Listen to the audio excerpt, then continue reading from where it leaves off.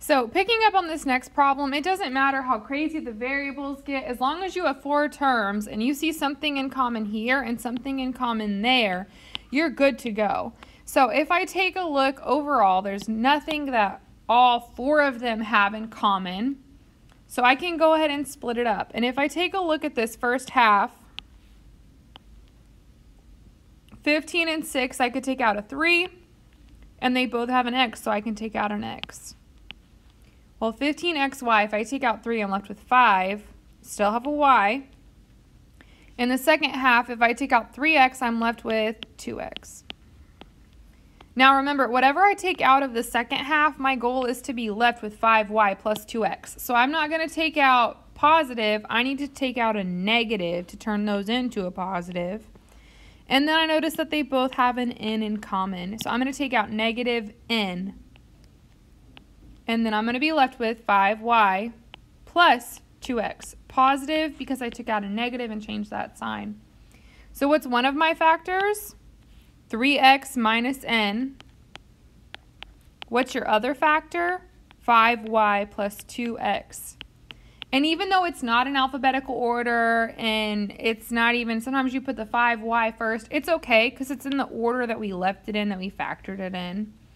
The crazier it is, sometimes it's harder to get it in that right order. It's not as clear as it was on the first one. That's okay.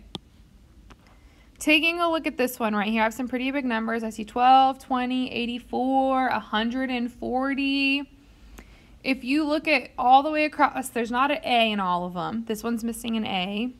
If I take out a 2, I'm left with 6, 10, 42, 70. I could take out a 2 again, which means I don't want to factor out a 2. I want to factor out a 4 first. I'm going to use brackets because I'm going to split it with parentheses from there.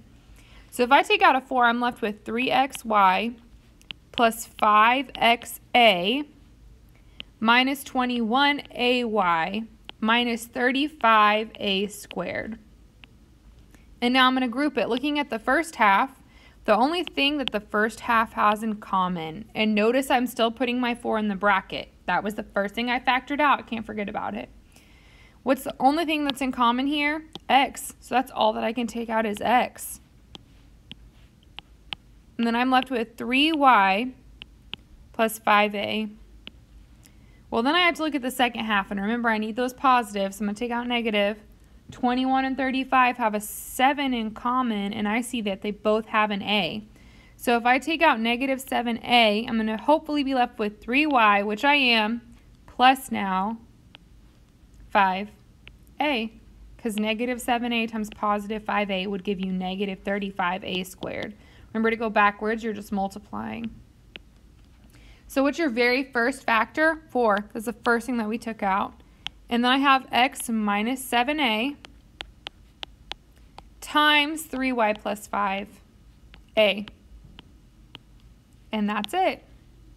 The nice part about factoring by grouping is that you don't have to set up your x and do all of that because you have 4. You already have an even number. So group it, split it in half. Taking a look at this one, 3, 2, 27, 18. I can't take a 3 out. You might think that, but 2 can't take that out. There's don't all have an x, so just go ahead, group it in half, and start taking it piece by piece. So the first half I can take out an x squared, and then I'll be left with 3x plus 2. The second half I can take out a minus 9, and I'm left with 3x plus 2. So I get x squared minus 9 times 3x plus 2. But you're not done because hopefully you're recognizing something right here. Hopefully you said it. It's a difference of squares. Or DS for short.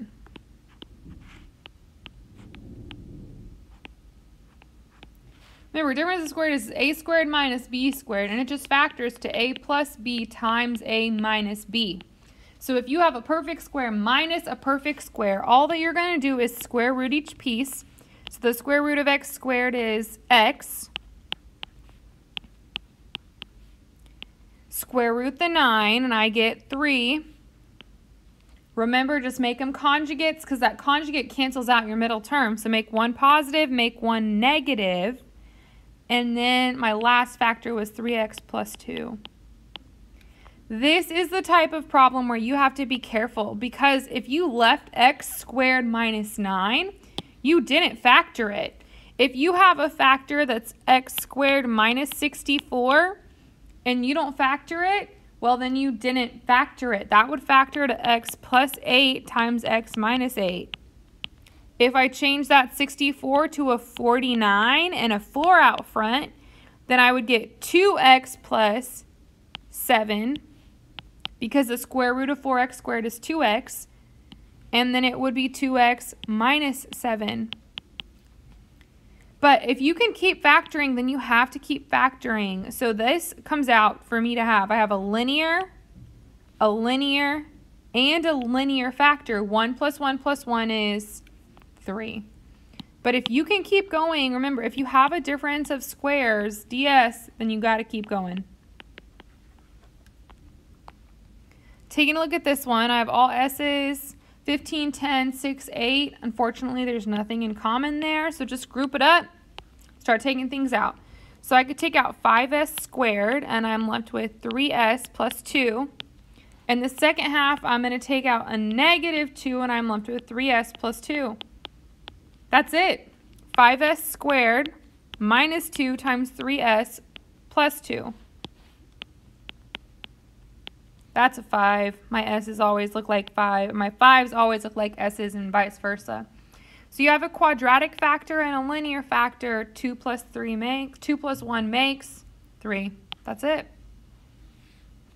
So I almost think factoring by grouping is easier because you don't have to do this anymore. And you don't have to go from three terms and turn it into four terms. They already give it to you with four terms. Then you just have to group it up. If I take a look, so I have k to the fourth power. And then I have k cubed, k squared, k. I could take out a k, and if I look at my numbers, they're all even. So I'm not just going to take out a k, I'm going to take out a 2k. And then I'm left with 6k cubed plus 9k squared plus 14k plus 21. And now I'm going to group it up and see what I have. Not forgetting about my 2K out front. So in the first grouping, I can take out 3K squared, and I'll be left with 2K plus 3. Think of it, what's 6K cubed divided by 3K squared? 6 divided by 3 is 2. K cubed over K squared is K. So that was the first half. And now looking at the second half, 14 and 21 have a 7 in common, and then there's no other variable, so it's just 2k plus 3 again after I take out that 7. So my first factor was 2k, and then I have 3k squared plus 7, and then 2k plus 3, and you could leave it in that order. So I have a linear, I have a quadratic, and I have a linear. 1 plus 2 plus 1 is 4. The exponents in your factors should add up to the exponents in your original because after you multiply what's k times k squared times k, that is k to the fourth power. So just a quick way to check it, but factoring by grouping, almost easier than having to set up the x because for a lot of you, that's the hard part and you don't have to do that anymore.